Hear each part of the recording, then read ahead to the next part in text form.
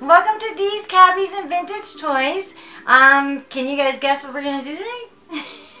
Today's video is going to be on Xavier Roberts Creations. I'm going to show you um, the collection that, that I personally own. Um, I think it's going to be a lot of fun, so stay tuned.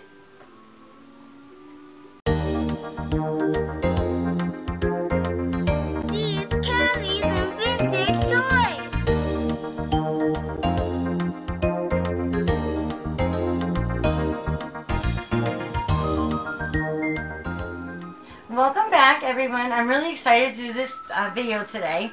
Um, as you know, I collect Cabbage Patch Kids. Um, I love them all, but I also I collect everything that Xavier Roberts created. Um, I, my main goal is to have a little bit of everything that he created in my collection, and I do have quite a bit. Um, and a lot of you, you know, you hear the name Xavier Roberts, you think of the Cabbage Patch Kids, but I know as collectors we know what he did, but a lot of people don't realize uh, that he created way more than just the Cabbage Patch Kids. We have the Koosas, uh, the Furskins, um, the Plunkets, which were the chickens. Those are really cool. A lot of people don't know about those. Um, Crimp and Curl Pets, Patch Puppies, cuties um, and, and now on the market we have the cuties and the adoptimals um, and you know this is all his art. He created all this stuff and i'm so excited to show you um, you know section by section what i have in my collection. So this is my Koosa collection. Um, Koosas are a favorite among collectors. They actually came out in the early 80s a little bit, um, probably about a year or two maybe after the Cabbage Patch Kids hit the mass market, um, the Koosas came out and collectors still to this day really love them. They came um, as cats, lions, and dogs. I ju just realized that every single one of mine is a dog. I did not even know that before, but they are, and I love them. Um, so I have one girl, the rest are all boys. Um, so these these three are your average Koosa. These two guys in the middle are um, really unique. They're really neat because they have the eye patch. Now the eye patch Koosas are very sought after uh, by collectors. They're they're they're less common. They're a little harder to find, um, and they're so cute. Look at how cute they are. But this little guy here with the eye patch and the brown hair, he's very special. He's my favorite Koosa because he was a, an actual birthday present to me from my friend Carly. Thanks again, Carly. I love him. His name is Miko. So, these are my Koosas, guys. I hope you like them. I do. They're very cute. My babies. My cabbies, pets. That's what they are. So here is my Furskin collection. I don't have all of them, but I do have quite a few. These were actually made um, in the between the mid 80s to, to the late 80s. Um, they're called the Furskins of Moody Hollow. So that's where they live, in Moody Hollow. um, I have uh, Hattie, Oraval, um, Dudley, I think the little one in the front is Clara, Boom, the, the beekeeper. They're just really neat. They all have their own little outfits and personalities and they're a lot of fun. I really like them a lot. So this is Aunt Nadine. She's actually uh, from a series of chickens that Xavier Roberts created called the Pluckets. And as you can see, she's wearing her little bonnet. She actually comes with a pipe, but um, she I got her used and I didn't get the pipe with her. But I I have to read this to you. She only there's only um I only have one of her, but there are others that come in the series. But I have to read the backstory to you. This is just too good.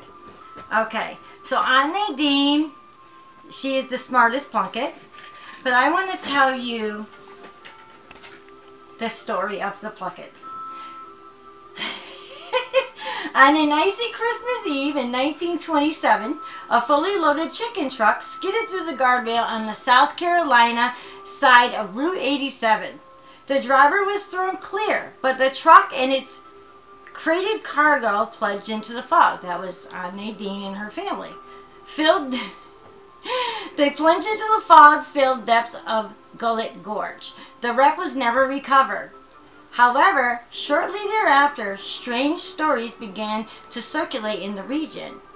Local speculation was that many of the plucked poultry somehow survived and in time adapted into an entirely new kind of chicken.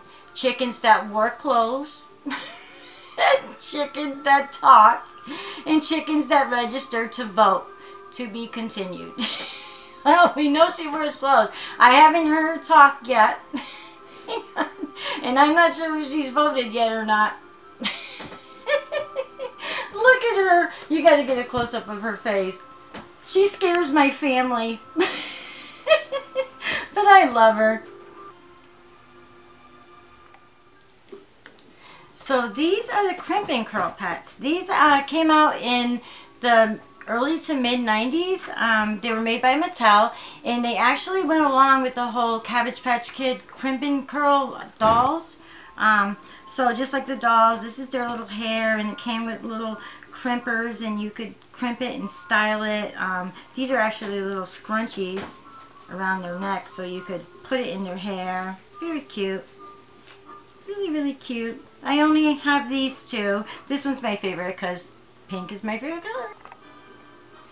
And these cuties are patch puppies. I love patch puppies. They're so cute. They were made by Playalong um, in the early 2000s. My favorites are the pink and the white one. Of course, pink. Pink. Um, but they're so cute, and they they came in. Um, I think these were pretty much all the colors that they came in in this size, anyways, because they did have miniature ones too that came in some of the limited edition play along sets. They actually went in the boxes with kids, um, with, with Cabbage Patch Kids. But the full size ones, I'm pretty sure these are the colors. Um, correct me if I'm wrong. Denise would know. Denise, my friend Denise. Hi, Denise. She loves patch puppies. She's actually the person that got me into collecting them. Um, but anyways, I love them. They're so adorable. They're by Play Along. You can find them on eBay. Um, they come with little leashes and um, just a little something different. I love their faces. They remind me of Cabbage Patch Xavier Creations. They just have that cute Cabbage Patchy face. Look at how cute these are, the ones in the middle. These are the Snugglies. These are from the 25th um, anniversary edition, and um, they did a lot of special things for the 25th anniversary, and this was one of them. So I got three of the little Snugglies here, and it came with the display case. So cute. I love these guys. And over here is... Um, a cutie. I actually got him for my birthday from Nelson and the Boys. They still sell these in the stores. Um, I think I think maybe even someone said Cracker Barrel carries them, but I know uh, Target, Walmart, places like that, and of course Amazon. And then, last but not least, is the Adoptimals. Um, I actually stole this from Elijah's room. I got her for me, and he loves stuffed animals. He loves animals, so I um he I ended up letting him have her. But she's cute. If you press this, she meows. I'm perfect. Thank you guys so much for letting me share my collection of Xavier creations with you. It was a lot of fun. I'll see you guys in the next video. Make sure you like, subscribe, and share. I'll see you next time. Bye.